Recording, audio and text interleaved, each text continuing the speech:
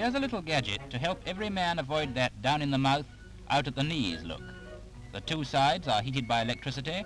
A slight pressure on the handle forces them together, and there you are.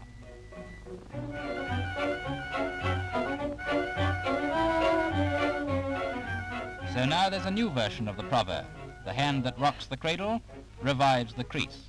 Oh, and by the way, ladies, if you happen to be a golf widow, you'll be interested in a little machine which will give your husband all the thrills of the game in his own back garden.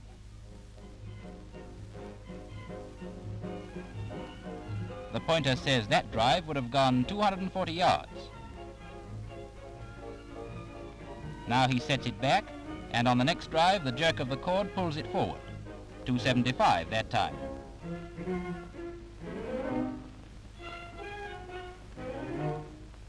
But of course, it's no good driving a long way in the wrong direction. So there's another pointer which records a slice or a pull. Watch it. If you drive like that, you don't need lessons from the pro, you need a course of hypnotism by Karinga.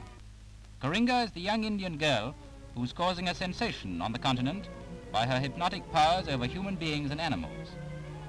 The crocodile looks fierce, but watch her quieten it. See how stiff it's gone, proving that it's completely under her control and would do anything she willed it to.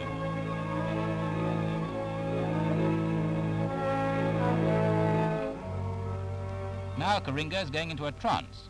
It's in this condition that Indian fakirs can stick knives into themselves without bleeding or walk through fire.